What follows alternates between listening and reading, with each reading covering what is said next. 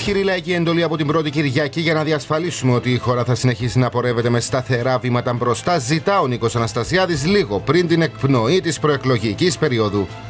Το δίλημα είναι ξεκάθαρο. Συνεχίζουμε την σταθερή πορεία μπροστά ή οδηγούμαστε σε μια αβεβαιότητα αποτέλεσμα πειραματισμών; Συνεχίζουμε σε όλα αυτά που πετύχαμε για πρώτη φορά στο εθνικό μας θέμα ή οδηγούμαστε σε επικίνδυνες περιπέτειες; Ενωμένοι είναι καιρός να προχωρήσουμε μπροστά, αναφέρει στο τελικό μήνυμά του ο Σταύρος Μαλάς. Να κάνουμε με συνεννόηση και σύνεση την εθνική μας ενότητα, την μεγάλη δύναμη μιας κυβέρνησης όλων των Κυπρίων. Αυτός είναι ο λόγος για τον οποίο σας ζήτησα να με εμπιστευτείτε. Αυτός είναι ο λόγος για τον οποίο σας εμπιστεύομαι. Γιατί δεν είμαστε όλοι ήδη.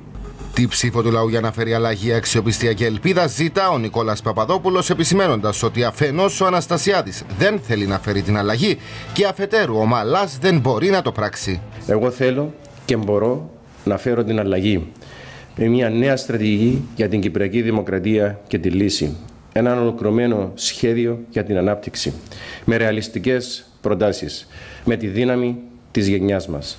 Ζητώ τη ψήφος σας για να φέρουμε μαζί την αλλαγή, την αξιοπιστία και την ελπίδα. Ο Γιώργος Λιλίκας κάλεσε όλους όσοι επιθυμούν να τερματιστεί η ίδια κυβέρνηση Αναστασιάδη να φροντίσουν με την ψήφο τους να στείλουν στο δεύτερο γύρο εκείνον που μπορεί να τον κερδίσει. Πίσω από το παραβάν θα είστε μόνοι σας με τη συνείδησή σας.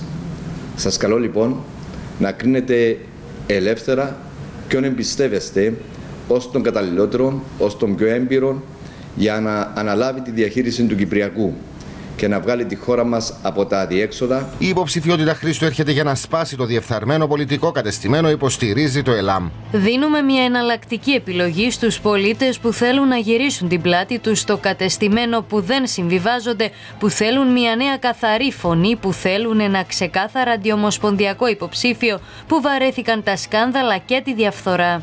Βάσει νόμου μετά τα μεσάνυχτα απαγορεύονται ρητά προεκλογικές συγκεντρώσεις και δηλώσεις.